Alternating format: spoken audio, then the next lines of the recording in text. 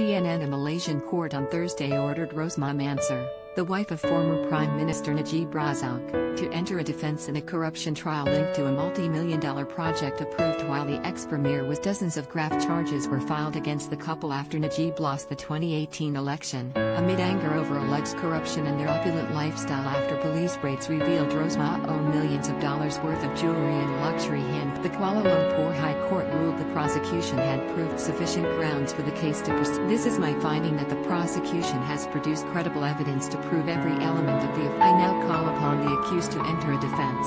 Judge Mohamed Zaini Mazlan said in his Rosmah, who wore a traditional Malay dress with a shawl covering her head, told the court she would testify under oath during defense proceedings. Read more her lawyer, Jagjit Singh, said after the hearing the defense would be hampered to a certain extent because the judge did not explain the factors behind his decision, adding that this had caused his client emotion. We had to comfort her a little bit.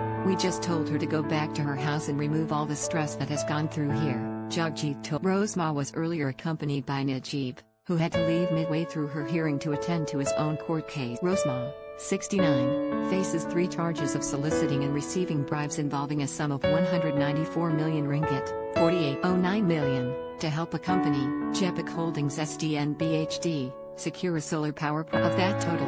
Prosecutors accuse Rosmah of arranging for 187 million 4622 million, to be paid as a political donation to Najib, while also receiving two bribes of 6 5 million, 1.6 million dollars. Ringgit. If found guilty, she could be jailed for up to 20 years and fined at least five times the sum specified. In July, Najib was found guilty of corruption and sentenced to 12 years in jail in the first of several trials linked to a multi-billion dollar scandal at State Fund 1 Malaysia Development Berhad, 1 and he has since filed an appeal against the decision. The couple deny any wrongdoing, saying the charges are politically. Rosmah's case resumes on June 9.